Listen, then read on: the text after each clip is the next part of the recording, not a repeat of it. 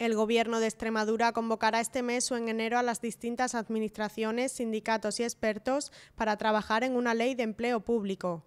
A su vez, ha iniciado ya las gestiones de plan de reorganización de los recursos humanos que desarrollará a lo largo de esta legislatura. Así lo manifestó la directora general de Función Pública, Verónica Puente, ante la Comisión de Administración Pública de la Asamblea de Extremadura, en la que compareció para responder a varias preguntas de los grupos parlamentarios. El diputado de Izquierda Unida, Víctor Casco, le preguntó sobre las previsiones en cuanto a la reforma del texto refundido de la Ley de Función Pública de Extremadura para su adecuación al Estatuto Básico del Empleo Público. En su respuesta, la directora general anunció la elaboración de una ley de empleo público, aunque no ofrece fechas para su finalización explicó que no se trata de una modificación del texto refundido de la Ley de la Función Pública de Extremadura, ya que la intención del Gobierno es más ambiciosa. En este marco, la directora general de Función Pública retomó un borrador de modificación del Reglamento General de Provisión de Puestos de Trabajo, en el que ya se venía trabajando con el anterior Gobierno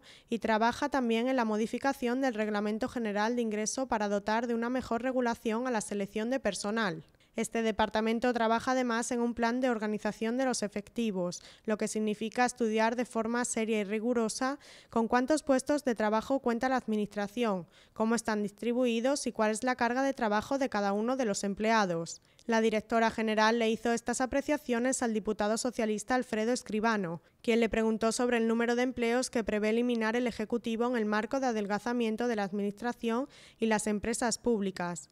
La directora no le ofreció ninguna cifra porque afirma que este plan no se puede concretar en los seis meses que el Partido Popular lleva en el Gobierno, ya que se desarrollará a lo largo de la legislatura.